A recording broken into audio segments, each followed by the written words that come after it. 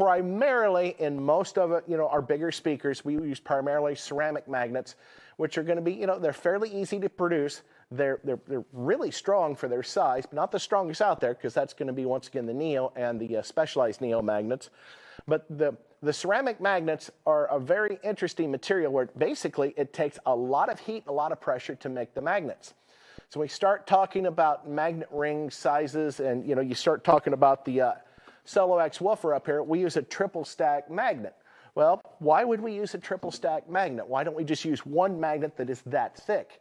The problem is it's very, very difficult and very expensive to produce thicker and thicker magnets. So what we do is we're able to stack multiple layers together to get an added benefit so we can get the same performance but at a much reduced cost. Now, most magnets, the average thickness that you can make a magnet cost effectively is going to be between 20 and 25 millimeters. That's three quarters of an inch to an inch. That's going to be the maximum range that you can you know, get the, the ceramic pressed into, into a good form of magnet. Now, the other question is, well, if that's the case, why don't you use multiple smaller layers of magnets? So once again, we start talking about a 24 millimeter thick magnet, which is about an inch tall. What if I had two 12 millimeter magnets? Now, there are times when you'll see manufacturers do this. They'll stack multiple smaller thickness of magnets in there, and that really has to do with you know the cost, the tooling, you know what they have access to. But generally, you know, speaking, three quarters to an inch is about the maximum thickness you can get out of a ceramic magnet without going to the extremes uh, of you know ultra high heat, ultra high pressure, and you know once again, it all comes down in being cost effectiveness. Now, one of the problems when you do stack magnets together, such as you see here, and this speaker uses a triple stack magnet, is between each of those magnets, there's actually a little insulation layer called air in between. They're, they're put together as close together, and sometimes they can be bonded together with glue. In fact, they have to be bonded together with glue. That'll seal up some of the air gaps. But just like anything else, if there's any gap in that material, no matter how small it is, you're going to lose some magnetic energy or once again you're going to lose some heat conduction just like we have you know in a backplate and a, and a center pole piece and that's part of the whole magnetic circuit and we're going to get a lot more in detail so the other disadvantage of having a multi-stack magnet is you can have air leaks through the magnet, which do affect the performance of the speakers. So we try to use as thick a magnets as possible without getting too thick that they're not cost effective and make sure the magnets are bonded together extremely well and they're done airtight.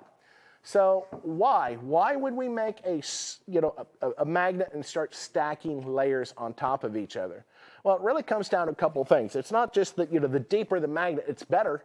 In fact, the more magnets you stack on top, the more decreasing the return is on magnet magnetism. So yes, you know, putting a second magnet on there is going to give a little bit more, you know, strength in the magnetic field. Putting another one on, it's going to give a little bit less than, you know, what you had by adding the, the second one. By the time you get to the fourth one, it's almost, you know, just a waste of, of energy. So why do companies put multi-stack magnets on speakers? you know, versus just one really good, you know, like inch thick magnet.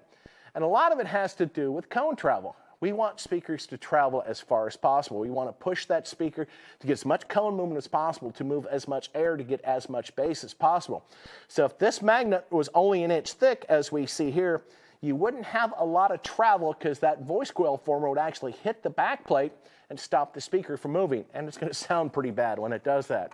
So by having multiple stack magnets, I can get more cone travel out of that speaker. Now, one of the other things we can do is we can bump the back plate. You see, we got this nice little curve on the back plate. In fact, some of our speakers, there's actually a dip right around the voice coil, and that's called a bumped back plate, and that gives more cone travel.